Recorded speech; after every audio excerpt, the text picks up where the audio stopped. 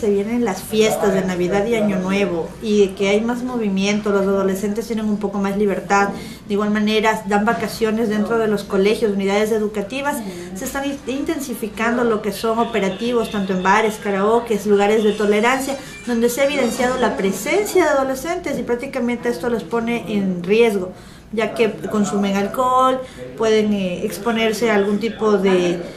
eh, eh, de, droga, de igual manera personas de dudosa procedencia que pueden inducirlos a cometer algún tipo de, de acto. Las visitas preventivas, en este caso los operativos relámpagos van a ser todas las semanas, en diferentes días, dos veces a la semana. El mensaje claro que sería para los padres es que conversen con sus hijos, utilicen el diálogo más que los golpes, que de igual manera lleguen a un grado de confianza en el que sepan dónde están, cómo están, qué es lo que están haciendo, con qué personas están saliendo y que no piensen que están, digamos, jugando o en el cine cuando en realidad los encontramos ingiriendo bebidas alcohólicas,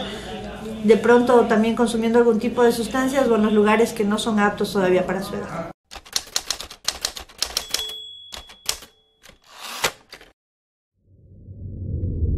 Ministerio del Interior.